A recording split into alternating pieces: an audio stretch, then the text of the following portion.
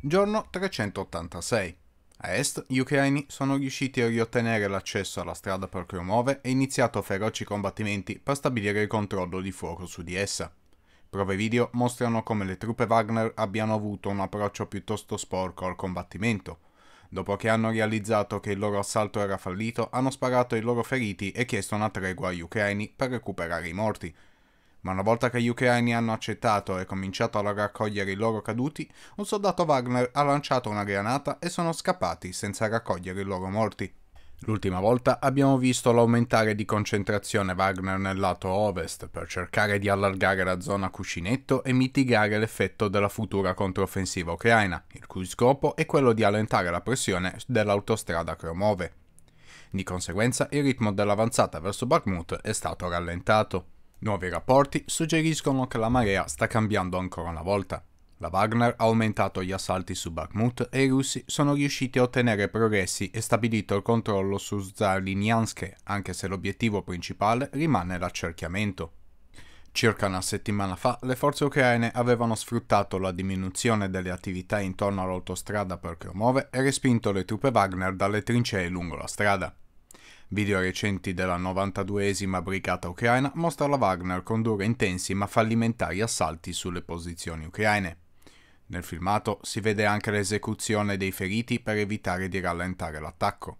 Testimonianze riportano che la Wagner aveva poi chiesto un cessate il fuoco per raccogliere i morti e promesso una ritirata, ma una volta che gli ucraini hanno accettato si sono ritrovati con una granata e la Wagner in fuga.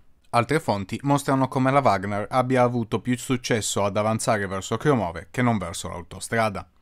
Qui gli assalti sono diretti verso il villaggio, quindi la zona tra le trincee e l'insediamento è una zona grigia. In ogni caso, a causa dell'aumento di attacchi nella regione, l'autostrada è tornata a essere poco sicura, il che ha ridotto i rifornimenti verso Bakhmut. Alcuni elementi dell'esercito ucraino lamentano la mancanza di munizioni e che alcune volte non hanno potuto ingaggiare il nemico a causa del pesante razionamento dei comandanti. Questo ha causato confusione a causa di un video della Wagner che mostrava la devastazione delle loro posizioni, dichiarando che gli ucraini fossero pieni di munizioni. Tuttavia, i danni mostrati sono provocati dall'artiglieria, che è ovviamente collocata fuori Bakhmut. La carenza di munizioni ha costretto gli ucraini a ritirarsi dalle posizioni più difficili da tenere, come la parte sud della città. Erano riusciti a tenere posizioni nella parte più profonda del saliente, causando non pochi problemi ai russi, ma sono stati costretti ad abbandonarle ed accorciare il fronte. Di contro, questo permette loro di rinforzare altri punti, specie ora che la Wagner è tornata a concentrarsi su Bakhmut. Secondo analisti militari ci sono due possibili spiegazioni per la diminuzione dell'intensità degli attacchi sui fianchi e un ritorno alla città. Secondo la versione ottimista, la Wagner ha compreso che stavano sacrificando il controllo sulla strada che gli ucraini erano stati veloci a sfruttare di nuovo. Secondo la versione pessimista, sono riusciti a completare la creazione della zona grigia e sono potuti tornare all'accerchiamento. In generale, sembra che il controllo della situazione sia tornato in mano russa. Prevenire l'accerchiamento minacciando i fianchi Wagner era una misura temporanea e ora i comandanti ucraini devono decidere sul da farsi. Le opzioni più discusse sono la controffensiva o la ritirata.